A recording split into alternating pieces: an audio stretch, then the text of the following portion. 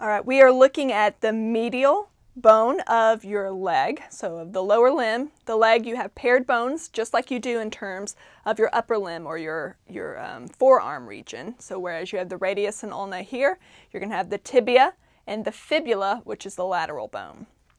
The tibia, in comparison to the fibula, is considerably more robust. This is really the weight-bearing bone. Fibula has very little to do in terms of weight bearing. It's more of a muscle attachment site.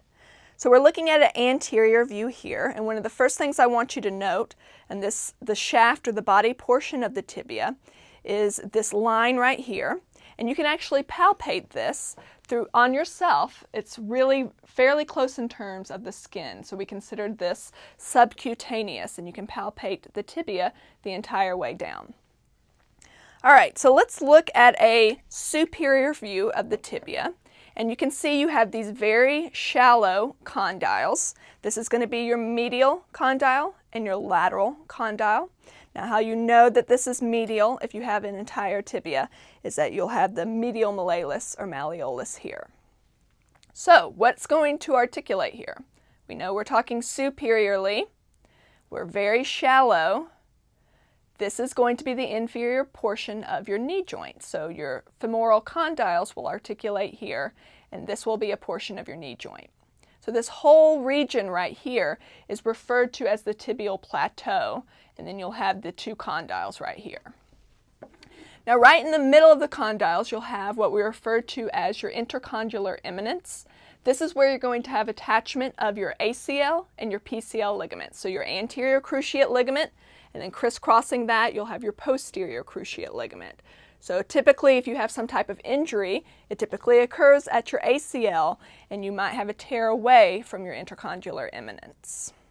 All right, so let me move this back more into anatomical position.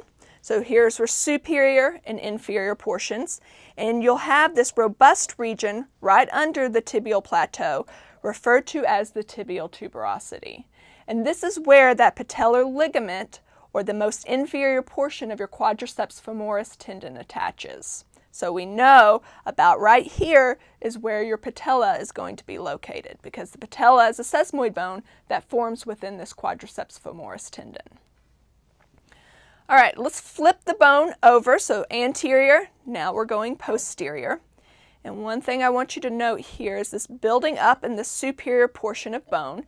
This is what we refer to as your soleal line. And as the name would indicate, your soleus muscle, so very important in terms of plantar flexing or being able to stand on your toes, your soleus muscle is going to attach here.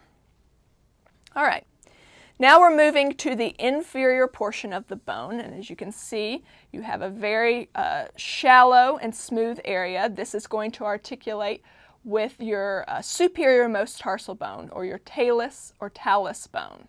All right, so important in terms of forming your ankle joint. The last thing of note, so I flip back over to an anterior view, is your medial malleolus. All right, so if you were to feel your ankle, if you feel the medial portion of your ankle, this is what you're feeling, your medial malleolus.